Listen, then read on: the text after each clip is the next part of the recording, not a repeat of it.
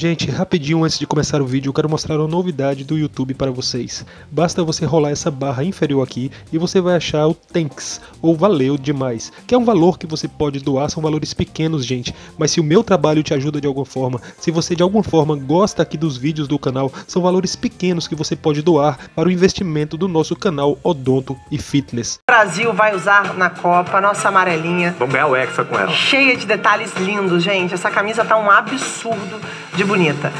E quem, vai mostrar, gente? Quem ah, é? quem vai mostrar os detalhes é um dos craques que devem brilhar no Mundial. E olha que o cara foi lá até no Pantanal, dona Bárbara, para ver de perto o que serviu de inspiração para nossa farda na Copa. Ah, linda, né? Maravilhosa. A mais bonita do mundo. É aquela cor que dá presença mesmo. Aqui tem a bandeirinha, né? Do, do Brasil.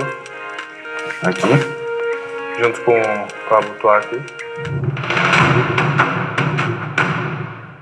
Você está vendo agora no Esporte Espetacular, com exclusividade em primeira mão, a camisa que a seleção brasileira vai usar na Copa do Mundo de Futebol.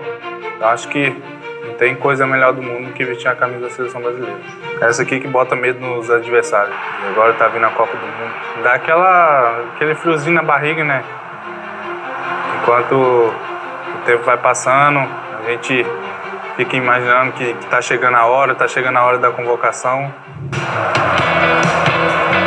E o Richarlison é forte candidato a ocupar uma das cobiçadíssimas 26 vagas do time que vai disputar o Hexa no Catar. Pela seleção, ele esteve sob o comando do Tite em 36 jogos e foi titular em 22 dessas partidas, marcando 14 gols. Richarlison! Faz 20 anos aí que, que a gente não conquista né, essa taça. E é o nosso sonho. Aqui é o meu despertador, né, para ir treinar. E aí, quando eu acordo, eu já olho pro celular, então tá lá a tela lá da Copa do Mundo. Atacante de personalidade. No campo, na rede, Richarlison usa os perfis dele nas redes sociais para defender causas humanitárias.